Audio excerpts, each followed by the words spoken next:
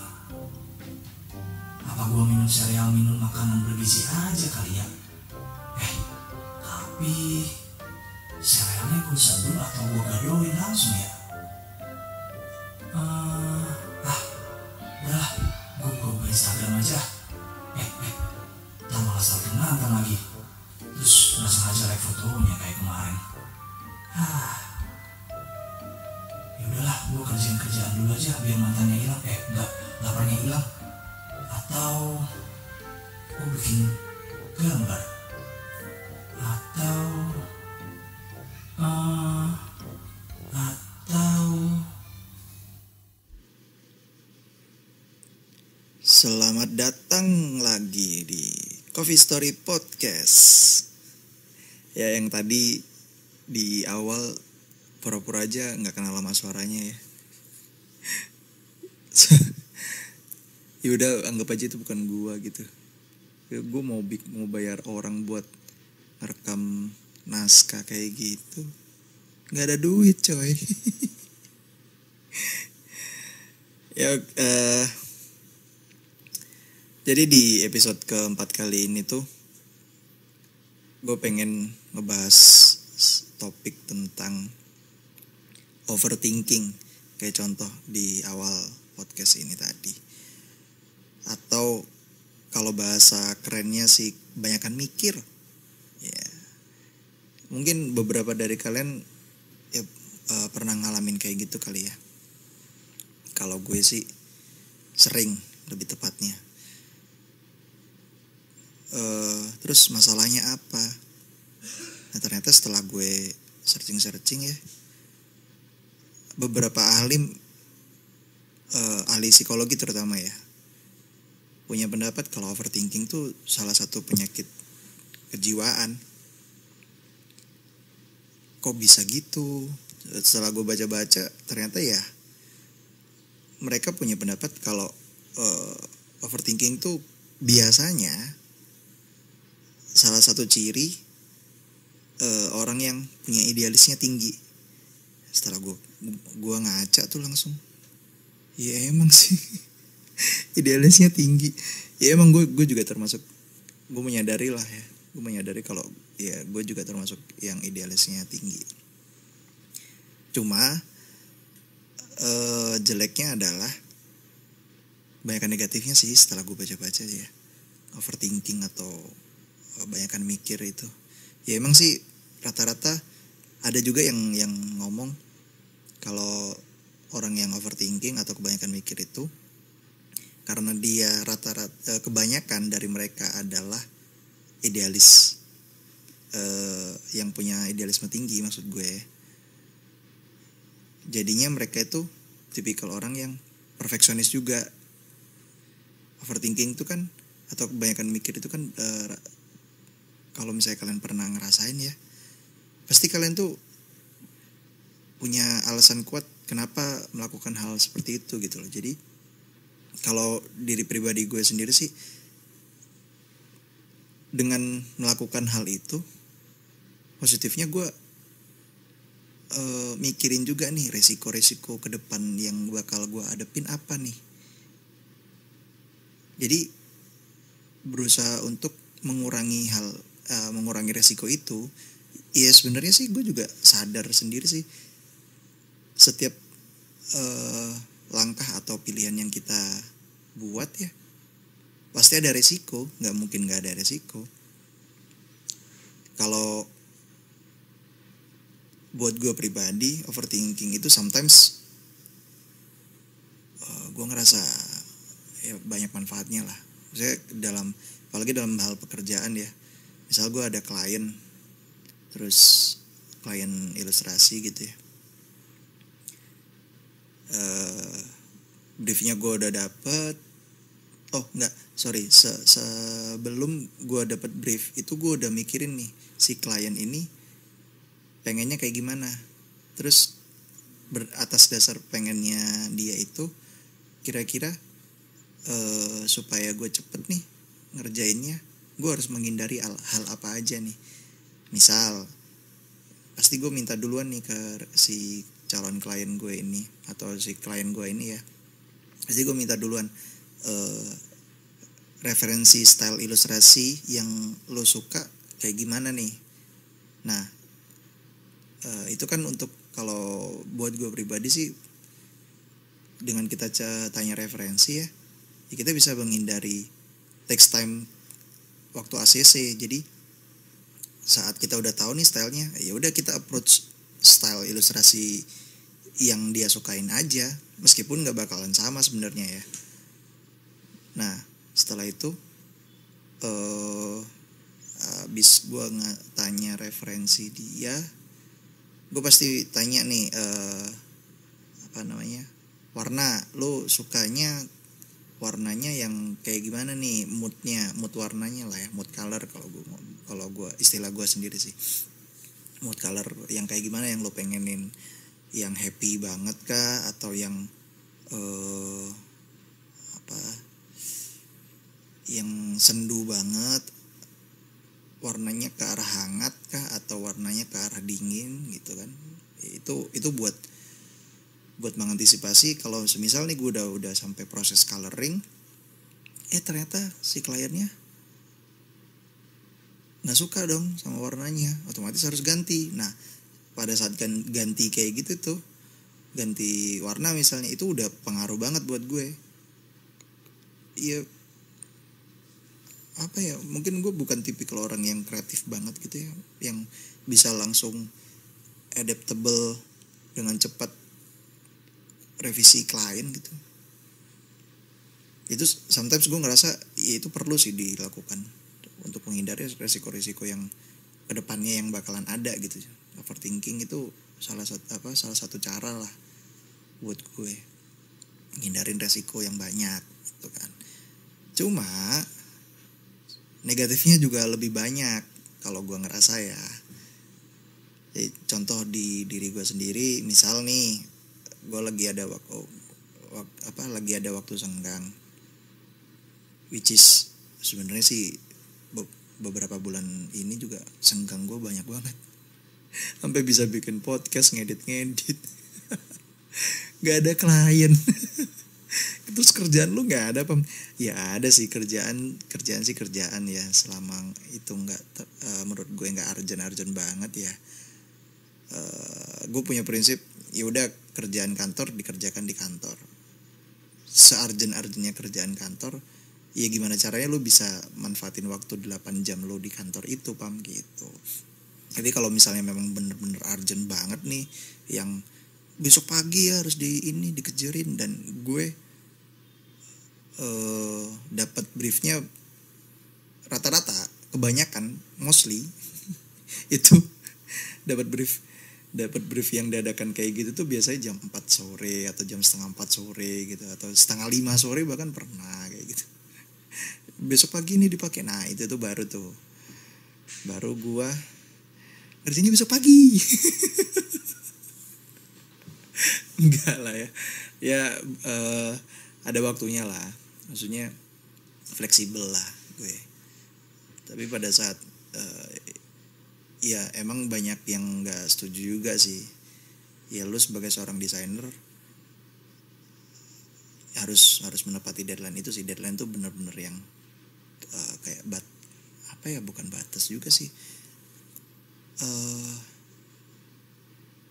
ya itu yang yang lu kejar gitu loh. Jadi ya beberapa kali eh, bukan beberapa kali beberapa tahun yang lalu gue sempat enak juga sih sama deadline deadline kayak gitu yang mepet mepet banget kayak gitu. Gue ngerasa kayak "Ah, ah, apa apa emang harus kayak gini hidupnya desainer ya yang hidupnya itu penuh dengan deadline gitu. Jadi kayak lu nggak nggak kenal siapa-siapa selain deadline gitu ngenes banget kayak cuma ya ternyata nggak kayak gitu juga sih menyikapinya.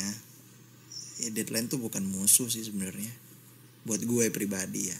Nah sometimes balik lagi eh gue ngerasa overthinking itu ya itu eh, banyak negatifnya di diri gue sendiri. Jadi contoh tadi gue sebut kalau misalnya pas lagi ada waktu senggang gitu ya terus pengen nih gue kepikiran nih wah gue pengen bikin portofolio ilustrasi lagi nih.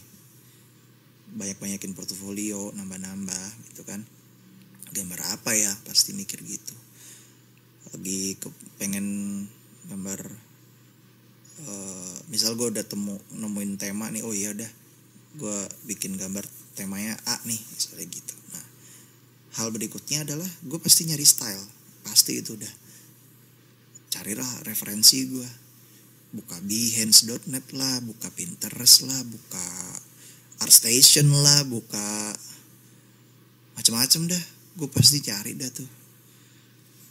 Nyari nyari nyari ketemu nih ada satu style yang oh asik banget nih stylenya. Kan? Nah biasanya eh, gue nggak cukup dengan satu style. Biasanya udah ketemu satu style nih akhirnya cari lagi nih cari yang kedua. Wah akhirnya bukan nemu style yang bagus tapi eh ini karakternya oke juga nih. Malah nemu karakter komik atau karakter pokoknya karakter yang dibikin orang deh. Oh oke juga nih karakternya. Tapi kalau misalnya gue pikir-pikir lagi ya style sama karakter yang gue temuin tadi itu beda jauh. Jadi mau diaplikasiin juga butuh effort yang tinggi lu harus harus apa ya kalau buat gue gue harus harus bisa nemu titik tengahnya nih antara dua apa dua referensi tadi. Style yang oke misalnya stylenya di eh, stylenya huruf D gitu ya. Tapi si karakter ini ternyata hurufnya huruf B. Ya meskipun cuman lompat B C terus ke D hitungannya cuman lompat satu kali doang tetap aja aplikasinya beda udah tuh udah ketemu karakter bagus tuh. Saya kira nyari lagi nyari kira-kira komposisi apa yang bagus buat ilustrasi yang gue pengen bikin. Nyarilah referensi komposisi. Ketemu komposisinya oh oke nih kayaknya. Ujung-ujungnya nggak gambar. Ujung-ujungnya waktunya habis. Ujung-ujungnya begitu udah banyak referensinya otak gue kayak capek mikir aduh otak gue nggak sanggup lagi untuk mikir. Gue nggak tahu mau gambar apa. Selalu selalu berakhir dengan gue nggak tahu nih mau gambar kayak gimana nih. Saya kira ya adalah gue nonton bentar lah gue nonton serial bentar lah. Istirahatin otak biar gue nggak mikir. Terus abis nonton aduh gue ngantuk. Aduh gue lapar. Ada aja.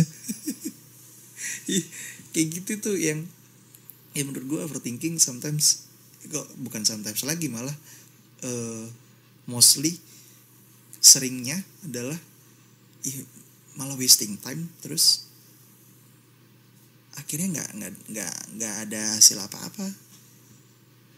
Ya nggak tahu ya kalau mungkin kalian pernah ngalamin dan dan ngerasa iya gue gue kayak gitu juga kok tapi gue nggak nggak yang sampai ngerasa otak gue capek gitu lemah banget gue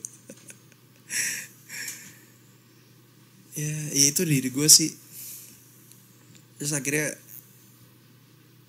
eh ujung-ujungnya kan bingung tuh. Terus karena bingung kebanyakan referensi gitu ya. Terus akhirnya nggak nggak gambar sama sekali. Nggak menghasilkan apa-apa ujung-ujungnya. Nah, ngomongin soal bingung juga eh ya kita kita ngambil contoh lain lah ya. Kayak kemarin gue juga sempat bingung nih mau bikin episode keempat tuh kayak gimana. Sejujurnya sebenarnya itu eh, episode 4 ini gue udah sempet rekam satu minggu yang lalu malah justru. Cuman selang sehari doang. Terus setelah episode 3 gue rekam gitu kan gue langsung nemu nih oh iya. Awalnya bingung awalnya bingung. Bingung mau mau ngebahas apa topiknya apa gitu kan karena ya otak gue juga lagi nggak sinkron juga sih waktu itu. Ya tapi ujung-ujungnya gue nemu ide ya udahlah bingung aja lah jadiin topik gitu. Nah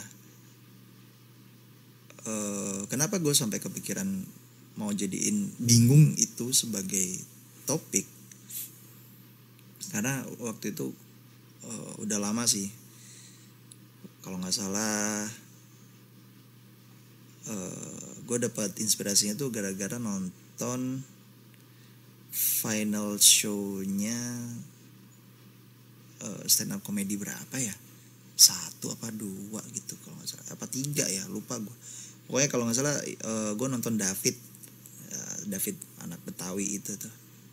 Ya itu gue gua gua rasa cerdas sih emang. Ya basically beatnya dia ngomong kalau eh, pada saat final itu temanya adalah Jakarta gitu kan. Nah beat si David ngomong kalau iya eh karena final ya kan tinggal dua orang doang ya. Si satunya lagi tuh siapa sih? Gue lupa. Pokoknya itulah pokoknya si si eh, apa namanya kontestan yang satunya lagi itu itu enak gitu loh. Enak karena menurut David enak. Enaknya karena eh, dia nggak pernah bahas Jakarta gitu kan. Dia bahasnya pasti daerahnya daerahnya dia juga atau bahas bahas tema yang lain untuk jadiin beat uh, stand up komedi komedi dia gitu kan. Nah si David dari awal awal season sampai final bukan sampai final juga sih dari awal season sampai sebelum final dia ngebahasnya Jakarta mulu gitu kan. Jadi beat dia habis ya. akhirnya dia bingung gitu. Nah ternyata eh, cerdasnya si David adalah dia bikin materi dari bingung dari tema bingung itu tadi gitu. Dan pecah kalau menurut gue sih pecah pecah banget. Entah entah antara memang beneran pecah atau guanya yang terlalu receh. Jadi ya gue gue apa merasa kalau ebitnya David pecah banget gitu ya nggak tahu sih. Mungkin karena basically gue orang awam tentang komedi gitu ya jadi gue nggak ya gue penikmat lah ya. Gue nggak bisa bikin beat gue nggak bisa nulis naskah lucu gitu nggak bisa gue padahal gue dulu inget-inget gue sempet bercita-cita untuk jadi komedian. Gue pokoknya harus jadi orang lucu. Tapi ternyata iya gue nggak lucu nggak lucu juga malah. Justru jatuhnya jatuhnya jayus. Ya itu akhirnya gue uh, jadiin coba coba jadiin bingung sebagai tema gue gitu. Nah, ya, basically sih kalau ditarik garis lagi ya ke belakang ngomongin soal overthinking ya overthinking pada dasarnya awal mulanya lu bingung pasti. Nah karena lu bingung atau ya uh, gue nggak ngejudge lu pada itu ya sok apa namanya melakukan hal yang sama kayak gue overthinking gitu. Cuma ya mungkin ada yang ngerasa kayak gitu ya. Jadi kalau menurut gue pribadi sih uh, gue overthinking kayak gitu sih awalnya karena bingung. Bingung mau dibikin kayak gimana kalau kalau dalam hal desain gitu kan. Atau bingung mau mau bikin ilustrasi seperti apa gitu. Atau bingung harus ngelakuin apa. Terus akhirnya ya banyakkan mikir banyakkan mikir itu. Jadi karena berusaha buat ngurangin resiko-resiko yang ada jadinya ya nggak malah justru keseringan nggak ngerjain apa-apa pada akhirnya. Nah eh, gue sih ada beberapa tips sih yang mungkin bisa work working well gitu ya dengan diri kalian yang yang mungkin ngerasa uh, hal yang sama gitu kan dengan dengan apa yang gue rasain. Tapi ini tips juga nggak sepenuhnya benar. Ya kalian boleh coba kalian nggak coba juga nggak apa-apa kalau buat gue sih pada saat gue bingung seperti itu uh, first thing first yang harus lu lakuin adalah lu gerak dulu. Gerak dalam artian entah lu ngerjain apa yang lain deh. Maksudnya jangan jangan jangan lu pikirin terus terusan gitu. Misal lu lagi ada tugas nih entah itu tugas sekolah tugas kuliah atau tugas kantor gitu kan terus lu bingung nih lu lu mesti ke mana lu mesti ngapain lu mesti uh, nyari referensi di mana atau nyari referensi seperti apa gitu kan. Uh, lu stop dulu. Kalau gue gitu jadi gue harus berhenti dulu melakukan apa yang gue uh, apa yang gue lagi pikirin gitu ya. Gue berhenti. Gue alihin ke hal yang lainnya dulu. Misal misal contoh kita ngambil uh, kita ambil contoh. Gue pengen bikin portofolio ilustrasi tadi ya pada saat gue lagi bingung kayak gitu gue nggak langsung cari referensi nggak. Jadi uh, gue tinggalin nih kepengennya gue untuk bikin ilustrasi ini gue tinggalin dulu. Uh, gue berusaha buat fokus dengan hal yang lain dulu. Misal gue ngalihinnya adalah dengan oh iya gue inget ternyata mungkin uh, apa namanya kamar mandi belum dibersihin gitu ya. Kamar mandi kosan belum dibersihin gitu. Ya udah ya udah gue akhirnya uh, gerak lah gue ngebersihin kamar mandi dulu. Setelah itu uh, udah kelar nih terus apalagi gue nggak uh, jadi biasanya sih gue bakal menghindari apa yang gue pengenin ini tapi gue bingung untuk mulainya itu dengan cara ngelakuin 2 sampai tiga hal yang lainnya. Mungkin setelah ngebersihin kamar mandi, uh, terus gua uh, mungkin ngerendam baju atau pakai apa pakaian gua gitu kan. Setelah itu mungkin gua uh, beli makan. Gitu-gitu gitu apa? Ya pokoknya 2 sampai tiga hal yang lain deh pokoknya. Nah, tapi selama gue melakukan 2 sampai tiga hal yang lain ini selain kepengennya gue di awal itu gue juga sambil mikir nih. Jadi ibaratnya gue berusaha buat nggak wasting time untuk terlalu lama mikirin uh, apa yang gue pengenin di awal gitu. Jadi ya paling nggak gue udah kalau misalnya lu gue uh, gue bikin list nih ya sorry gue bikin list gitu uh, list to do hari ini gitu ya udah bersih bersih kamar mandi misalnya terus uh, ngerendam pakaian atau uh, terus uh, beli makan beli cemilan misalnya gitu. Ya gue gue bisa gue bisa melalui tiga hal dulu nih yang udah gue kerjain. Baru setelahnya uh, sambil karena gue ngelakuin tiga hal ini gue sambil mikir ya gue sambil mikirin gue pengen bikin apa dan segala macem. Setelah itu baru gue kerjain pengen pengen gue di awal itu tadi apa gitu. Nah uh, yang gue dapetin setelah gue coba nih ya tips gue sendiri yang tadi itu kadang-kadang uh, kalau misalnya contohnya tadi mau bikin portofolio ilustrasi kadang-kadang dengan dengan melakukan hal yang lain dulu terus sambil mikirin hal yang utama yang gue pengen kerjain itu kadang-kadang gue dapat dapat inspirasi inspirasi lebih gitu.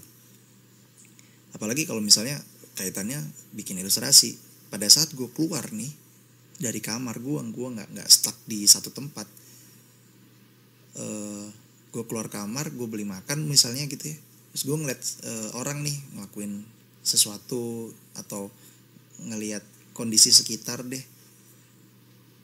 Ngelihat apa ya pokoknya ngelihat lingkungan sekitar itu gue kadang-kadang dapat dapat inspirasi tambahan. Oh iya bisa nih uh, ditambahin masuk ke dalam ilustrasi yang gue pengenin. Nah pada akhirnya gambaran gue tentang ilustrasi yang pengen gue bikin itu jadinya komplit. Oh iya uh, ilustrasinya ntar bakalan ada isinya ini ini ini ini ini ini gitu. Saya dari hal A sampai hal G atau hal F atau hal I gitu ya jadi ada 10 hal tambahan yang uh, gue bisa bayangin. Kalau dalam dunia ilustrasi kebanyakan ya ilustrator atau komikus gitu atau misalnya orang kreatif yang lainnya pun kalau misalnya kalian tanya ya uh, biasanya mereka juga bakalan ngomong kayak gitu. Jadi sebelum memulai uh, membuat karya mereka pasti bakalan ngebayangin dulu nih karyanya ntar jadinya jadinya kayak gimana gitu nggak cuman ilustrator sih. Kayak macam oh, gue gue pernah kalau mungkin dari beberapa dari kalian juga subscribe channel YouTube uh, Vsauce 3 Vsauce 3 gitu.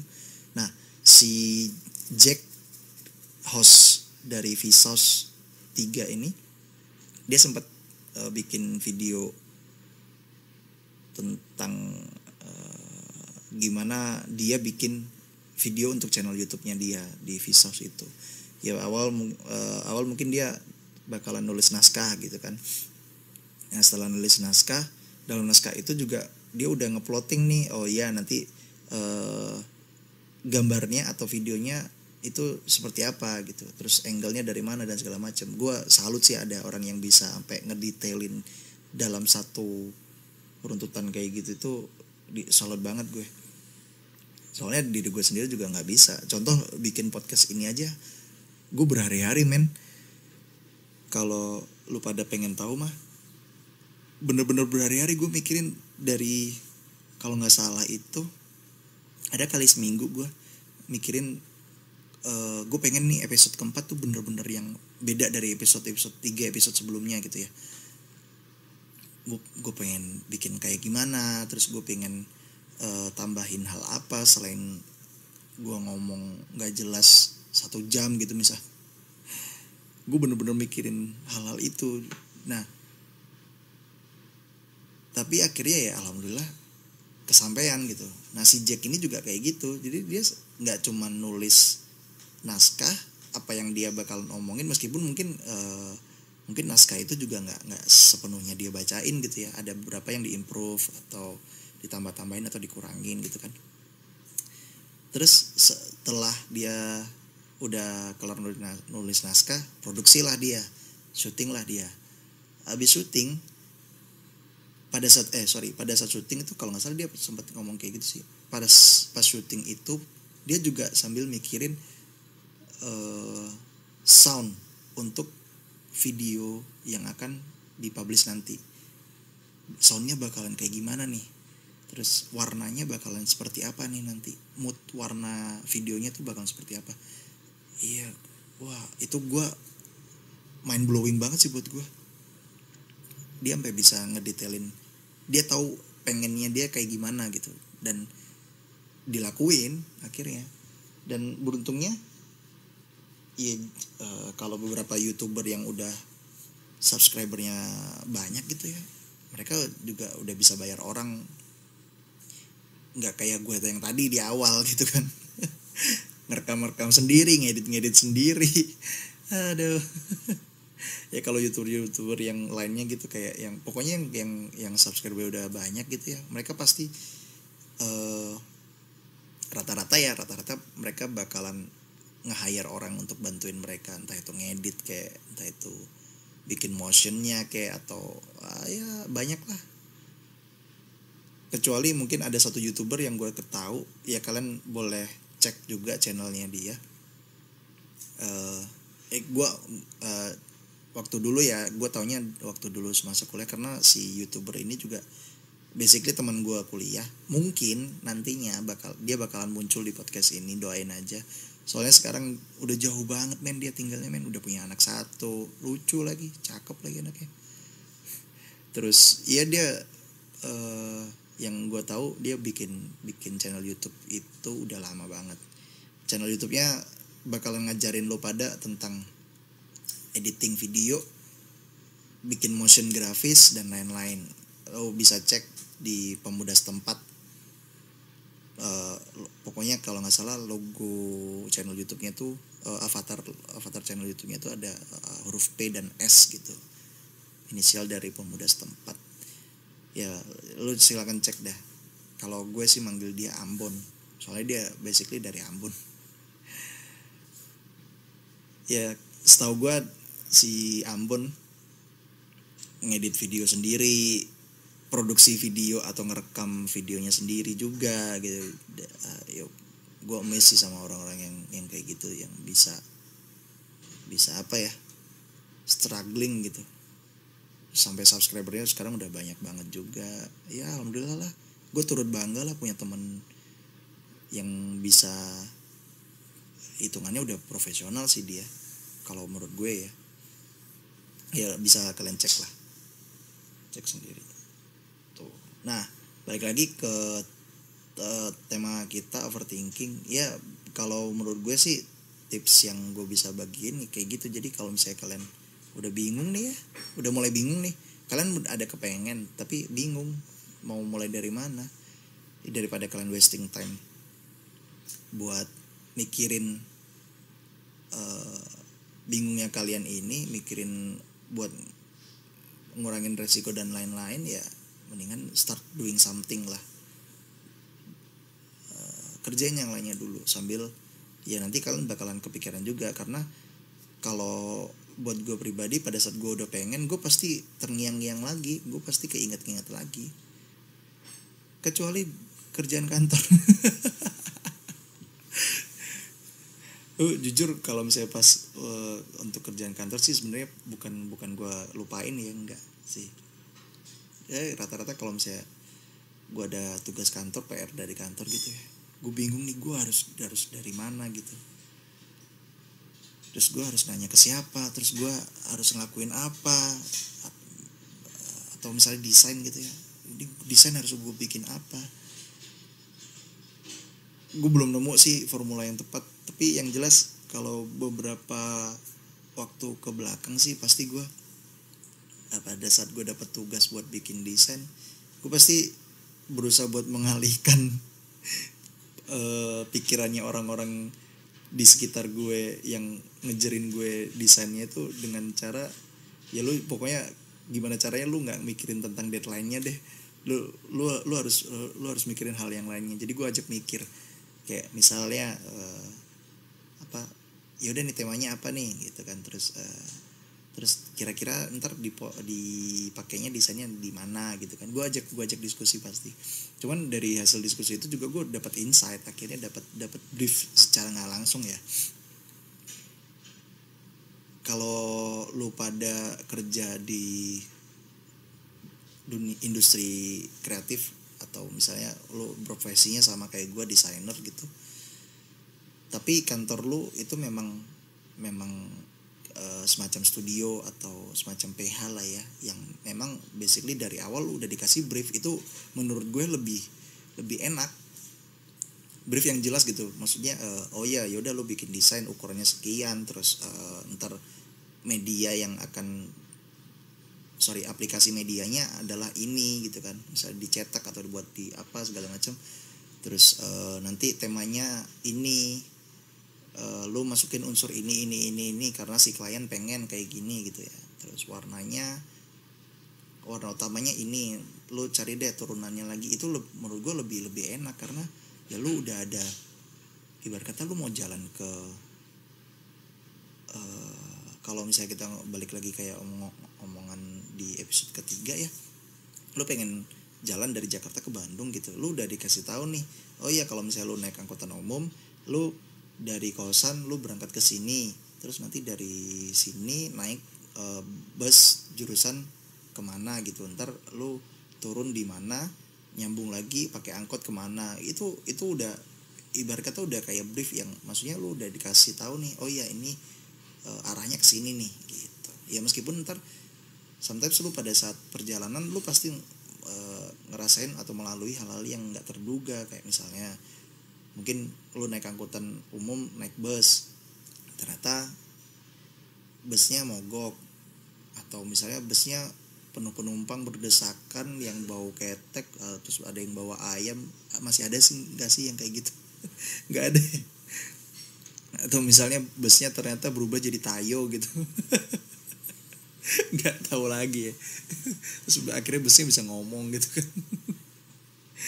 Ya itu itu hambatan-hambatan yang lu, eh, maksudnya resiko-resiko yang harus lo laluin juga kayak yang tadi gue omongin di awal.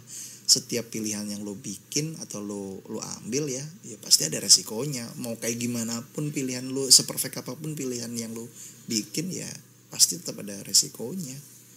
Nggak mungkin enggak. Gitu saudara-saudara. Gimana? Tidak bermanfaat bukan kata yang dengerin. Si anjir pam lu ngomong apa sih? Gue udah juga udah tahu kalau kayak gitu ya. Eh, balik lagi lah maksudnya. Gue cuman berusaha untuk ya sharing lah ya. Alasannya itu mulu ya dari kemarin ya. Bosan gak sih lu pada? Ya gitu. Eh, terus gue bingung sekarang mau ngomongin apa kita lihat dulu. Oh udah setengah jam lewat. Ah, ya udahlah. Tapi basically sebenarnya sih ini sih. Eh, tips yang tadi gue bagiin tuh working well dalam gue bikin podcast sih.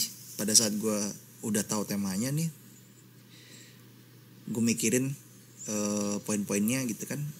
Gue udah bikin poin-poinnya ya gue nggak selalu mengikuti apa eh, poin yang gua, udah gue catet terus kayak kemarin gue bikin tema di episode keempat ini tentang bingung. Ujung-ujungnya ngebahas uta- eh, topik utamanya ya overthinking. Tapi pada saat gue bingung kemarin ya gue jalan aja dulu. Maksudnya ya udah coba aja dulu deh coba bikin maksudnya coba ngerekam dulu aja deh podcastnya gitu kan. Ya tahu taunya juga nggak kerasa udah berapa menit gue ngomong sendiri kayak gini gitu kan. Kalau semisal kalian bikin podcast juga terus ka- beruntungnya kalian berdua gitu ya gue ngerasa kayak apa ya gue dibilang kesepian juga kagak sih sebenarnya. Gue ngerasa lebih kalau menurut gue ya di dunia podcaster ini bakalan lebih enak kalau misalnya kalian memang nggak punya skill eh, apa kita istilahnya apa ya skill untuk bicara atau speech atau oh public public speaking lah ya. Eh tapi ini di dihitung public speaking gak sih? Soalnya ngomongnya kan gak di depan orang banyak ya. Hmm nggak lah skill skill inilah ya skill berbicara lah ya speech lah ya. Ibarat kata kayak pidato ini kan tapi direkam. Nggak pidato juga. Apa apa ya? Ya skill ngomong lah ya. Nggak tahu gue istilah istilah kerennya. Kalau misalnya kalian ada yang tahu ya ya udah silakan lah ya. Skill ngomong kayak gue kayak gini gitu ya. Ya kalian bisa mulai mungkin ajak teman. Ajak teman minimal satu kayak kayak di episode 2 kemarin gitu gue interview temen gue. Supaya eh ya obrolan kalian ngalir gitu aja. Karena kalau misalnya kalian nggak bisa ngomong sendiri kayak gitu ya susah juga men. Kalau gue gue gue ngerasa eh, podcast gue bisa panjang sejam gitu ya. Ya karena gue kebanyakan eh, kebanyakan diem kebanyakan bukan gitu sih atau kebanyakan ngomong maksud gue atau misalnya apa gitu ya. Jadi kebanyakan klarifikasi. Tapi ngomong sendiri juga nggak gampang men. Gue ngomong kayak gini juga sambil sambil mikir sambil eh, nah kan itu lagi kan. Itu artinya gue lagi mikir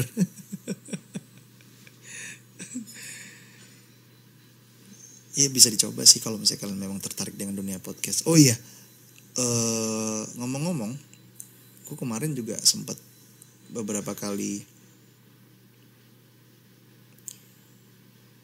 cari referensi, cari apa namanya,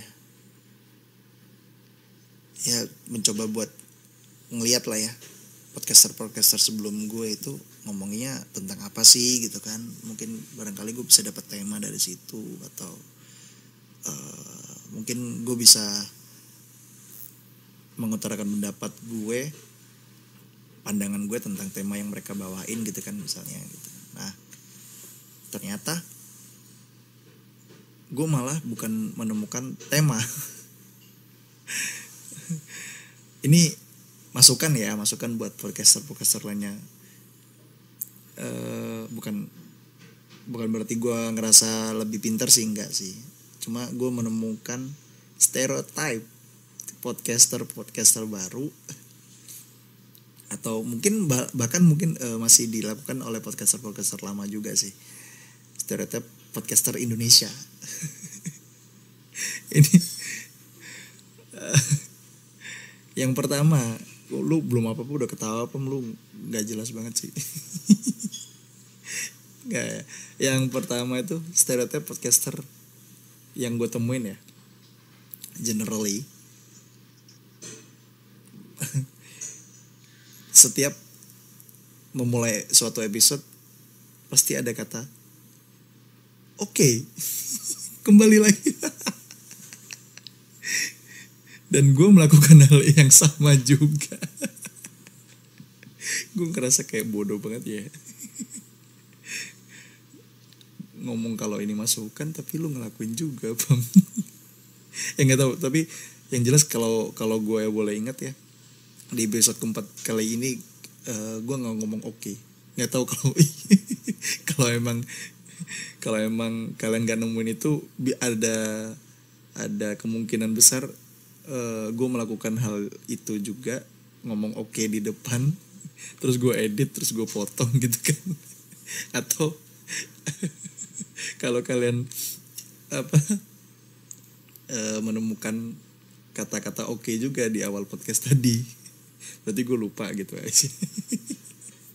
Dan kalian beruntung melihat kebodohan.